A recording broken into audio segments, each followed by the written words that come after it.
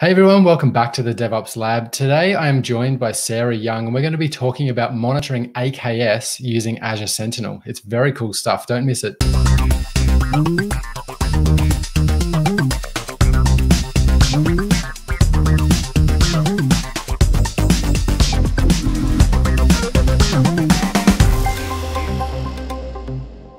Hey everyone, welcome back to the DevOps Lab. I'm Damian Brady, and today we're going to be talking about Azure Sentinel and more specifically, how we can monitor uh, AKS with Azure Sentinel. I'm joined today as well by uh, a friend and colleague, Sarah Young. Sarah, thanks so much for joining me. Well, thanks for having me on the show. Um, so we, uh, I, stumbled across a blog post of yours where you was talking specifically about using Azure Sentinel to monitor AKS, which is really cool. And I want to get into the AKS stuff in a sec. But for someone like me who is totally new to Azure Sentinel, uh, what is Azure Sentinel? What does it do? What's it good for? yeah, no, that's a good question. So Azure Sentinel is pretty new. It's only been GA for just over a year now, and it is Microsoft's security information event management so, uh, software. So um, we normally abbreviate that to SIEM, S-I-E-M. Um, in some parts of the world, they'll call it a SIM. So essentially what a SIEM does is you feed it different logs from your environment and it correlates those and looks for strange patterns of behavior um, uh, that may be indicative of a security problem because you, you can't do this sort of stuff manually anymore with anyone who's got any kind of even small environment it doesn't even have to be necessarily complex. It's too difficult for a person to to do this themselves. So that's why uh, businesses need a SIEM in order to do their security monitoring and help help them see what's going on in their environment. Gotcha. Okay. And so um, it's not just correlating the logs right? The idea is to notify you when stuff is unusual or um, if it meets thresholds that you said and things like that. Is that correct yeah, so um, it does. It, yeah, the idea is that it will correlate, and if um, when it looks at those uh, those the logic and the the thresholds that you've set, it will it can send you an alert and create an incident uh, depending on what you specify. Um, in the olden days, we used to sort of do hard limits, but nowadays we can be a bit smarter than that and use machine learning to say, okay, look back at the last 30 days, look at what's normal um, in terms of behavior. So that might be a sign in, it might be um, specifically for Kubernetes, it might be like scaling things up or uh, talking um, um, or creating pods and nodes and things. Um, and if it looks unusual, if it meet if it's bigger than a certain threshold, then send an alert because that might be indicative that something amiss is going on in your environment. So um, it could be because when we talk about security, people often think about hackers, but in fact, it doesn't have to be hackers. It can be security also covers just just looking at people who can make mistakes as well, uh, because mm. people can delete things um, or mess things up even when they're not intending to, and that's just as bad from a security perspective. And that that added intelligence would mean you don't have to kind of preempt all the things that can go wrong, right? You you just have this thing watching to say this is unusual or this is not normal behavior. You should take mm-hmm. a look.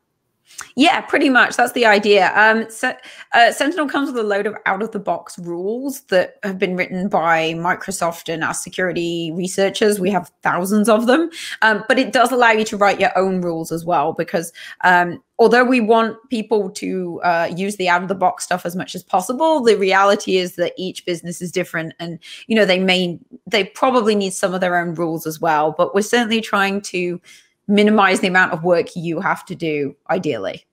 Right. Well, we'll talk about um, AKS specifically in a second, but I'd, I'd love to see what it actually looks like. Um, you have a, a, demo or is something that you can show? Um, I do. Let me, um, yeah, let me show you. I will uh, show you my demo environment. So um, this is uh, one of our big demo environments. You can see it's very busy.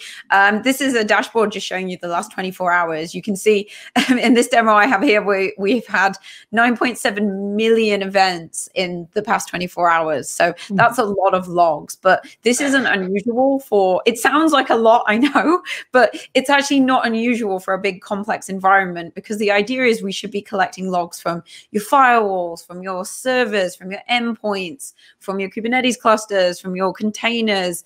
Um, you'll be collecting things from whatever your identity provider is. Because uh, we have a saying, and I have a really cool sticker with it, uh, with it on that um, that's out of scope said no attacker ever. Because the fact is is that attackers in order to uh, get effective security monitoring you need to be collecting logs from everywhere in your environment because an attacker isn't going to just go for your endpoints. They're not just going to go for your identity store. You know they're going to travel through your environment looking for whatever is of value. So that's why it's important that you do um, have visibility by collecting logs from you know pretty much everything you can in your environment. Having said that then i also have another sticker. I should have got these out um, that says collection is not detection because some that one yeah yeah, um, collection is not detection because at the same time, whilst it's important to collect lots of events from all over your environment, you can over collect. And there are, I've seen lots of businesses, and it was traditionally what you did. You collected all your logs,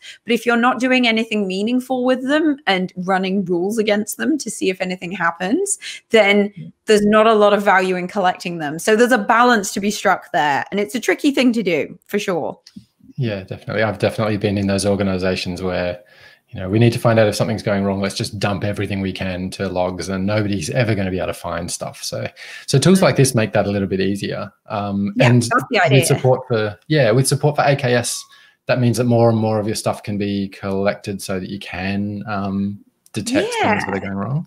Yeah, so let me show you. So in AKS, we've got a couple of ways that we can support AKS. So if I just show you one of them, if I can find it now. So the first thing we'd recommend people do if you're using AKS is to come here to diagnostic settings. Um, and what you can do here um, is you can select which type of uh, administrative type logs you might want to send to Sentinel or into, into a log analytics workspace. So I'm not going to read them all out. You can see there's um, a number that you can send here.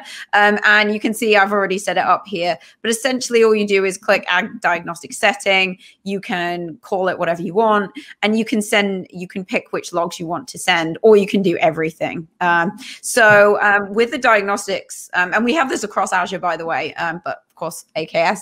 You can send to log analytics, and Sentinel sits on top of log analytics. I should have said right. that just for clarity. So that's how you send to Sentinel. But also, you can just put these in a storage account or um, if you were using a third party SIEM or a third party system, you could stream it to an event hub, and that's the way you can stream it out of Azure. So, um, in terms of good security monitoring practices and good monitoring practices, you should be doing something like this with your AKS. Right. The gotcha. other thing, sorry, go on. No, no, no, that's that's super useful. Yeah. The other thing we've got is so that's um, getting some of the raw logs into Sentinel. So you should definitely do that. The other thing is looking at using Security Center. So Security Center is our infrastructure security hygiene tool. It has lots of different recommendations um, around security hygiene. The idea being that with AKS, uh, with AKS and anything else, and I will just put in it helps if I know how to spell Kubernetes. um, so you can see here, um, uh, Security Center gives you recommendations for your security hygiene. Um, so when we say security hygiene, what we mean is, um, you know, just patching making sure um, you don't have um, default username and passwords. This sounds really basic, but there's so much research that shows that people get this wrong all the time. Um, and um, you know, so many, so many breaches would not happen if people did their security hygiene well. So Security Center helps with that, but specifically for AKS, you can see here, um, it will give you uh, recommendations as to how you can actually improve the general security hygiene of your Kubernetes cluster. So using role-based access control, uh, restrict IP ranges. Um, if I um, and then we've got, I won't read them all out, um, but then we have Azure Defender. So Azure Defender is our um, infrastructure security threat alerts, um, and it now includes AKS. So um, you can see here, for example, um, we have a exposed Kubernetes dashboard detected. And of course, anyone who's been around Kubernetes for a while knows that the good old exposed dashboard is a really good vector for security attacks. Um, but what we, um, and this is just an example of an alert we get, um, there's quite a lot more. But then the idea is with this, of course, hopefully people watching this you know why it's bad but essentially this is the admin dashboard. If this is exposed to the internet much it makes it much easier for someone to potentially breach your system. Um, and then this alert you would feed into a SIEM solution. So um, ideally sentinel uh, but it can be other ones as uh, of course there are third party ones as well. Um, mm. and then because this is uh, what um, what security center does is look for um, look for things that actually look like a threat. And so you know um, some of the other things uh, hygiene and configuration things are they might be a problem, but not necessarily, but it's good practice to fix them. Whereas if you see an alert like this, it's like, actually, this is bad. You need to do something about it. Yeah. Yeah. Absolutely. As you can see, we've got high severity there. And I would agree, like having an exposed dashboard is not a good way to go. Um, no, definitely not. No, it's really not. So, oh, we've got a few of those actually. Um, Oh, that's this is oh, a demo environment, though, right? This is a demo environment. So, yeah, but yeah, I should point out this is a demo environment, and it is purposely kind of full of bad things, as you can see as I scroll down. Um, so you've got another one here, an exposed Kubernetes service detected. So um, right. yeah, we've um, so there's two different ways you can do it, um, and as you can see, actually, there's a number of different services here. Um, and again, this should be fed into your security alert monitoring as well. Um, so you've got um, lots of different visibility of what's going on. And then your security operations team, if they need to, they can take um, some action. It, we actually do give a little bit of action. Uh, we do give a little bit of instruction here as well. Um, if because of course security operations folks can be looking at a whole wealth of different things, and they won't be experts on everything. So hmm it may be that um, they don't know specifically what to do.